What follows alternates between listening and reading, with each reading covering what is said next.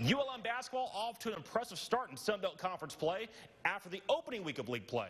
The Warhawks are 2-0 with impressive wins over Little Rock and Arkansas State. That Trojans game paced by 42 points from Daishon Smith, the Wichita State transfer. He actually earned himself Sun Belt Conference Player of the Week honors today, and he's hoping that momentum carries over as the Hawks head over to Georgia.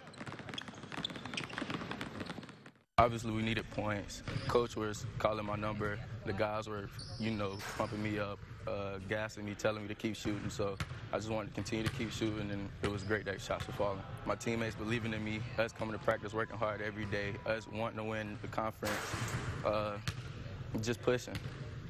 Well, that's the most important thing. I'm happy for Daishon, and he, he deserves some recognition. That was a tremendous performance that he had last Thursday, both games. Uh, he's played well for the past month. Good guy right there.